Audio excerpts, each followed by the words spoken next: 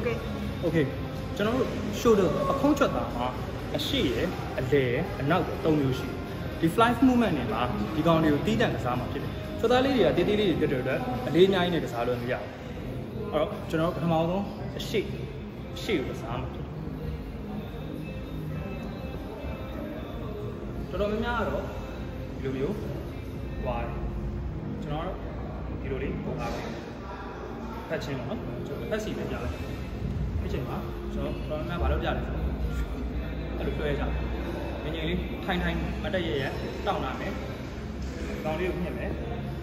ပေါ်ကြီးကိုဆင်းကိုထိမိချဒါလေးတစ်ဖက်ချင်းစမ်းကြည့်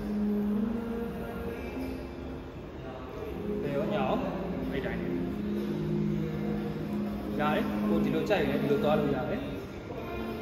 ကျွန်တော်တို့ဒီလိုပို့ပြီးတော့ကြိုက်တယ်တဲ့ကိုပို့ပြီးတော့ကြိုက်တယ်ဒါလေးကဲနောက်တစ်ခုက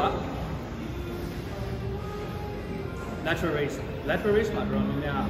အာကြက်တောင်မှထပ်ပြီးလောက်ကြတယ်ဘယ်လိုလောက်ကြလဲအလေးအများကြီးထွက်ဟေးဟေးဆိုလောက်ကြတယ်တကယ်ကကျွန်တော်တို့ elbow ကို raise ညှောက်လိုက်တာ round 90 degree ဒီလိုဖြစ်နေတာ မလုပ်ပါနဲ့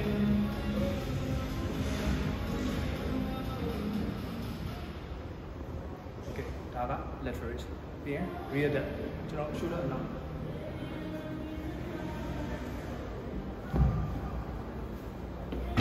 two ညွှန်လိုက်မယ်ဟုတ်ဒီလို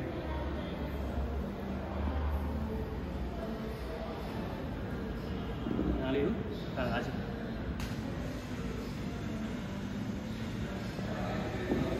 အဲ့ ဆိုရင် shoulder ကောင်းသုံးအောင်လို့စားတာဖြစ်တယ်